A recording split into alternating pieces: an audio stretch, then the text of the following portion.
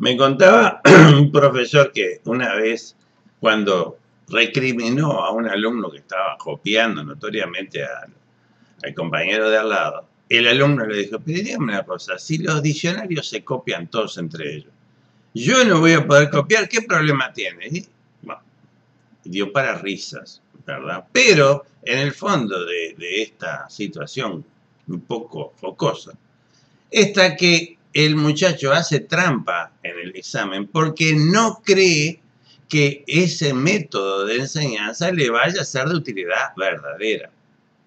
Casi usando la misma palabra. Imagínese que el muchacho tiene un problema de salud y que cree, realmente cree que el sistema de salud lo puede, le puede ayudar en algo. Entonces va un médico y el médico lo escucha y dice, bueno, mire, yo necesito una, hacerle un examen de orina. ¿Usted cree que ese muchacho, si cree realmente, si confía en esa institución, en la túnica blanca y en el estetoscopio enroscado en el cuello, se le va a ocurrir pedirle prestado la orina a otro para hacer trampa? Ni por asomo.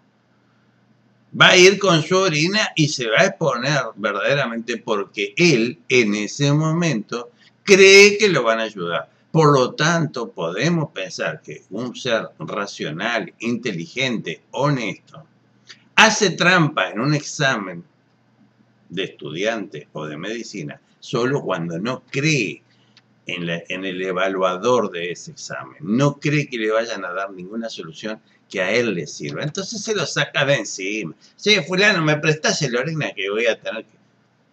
Y ya está.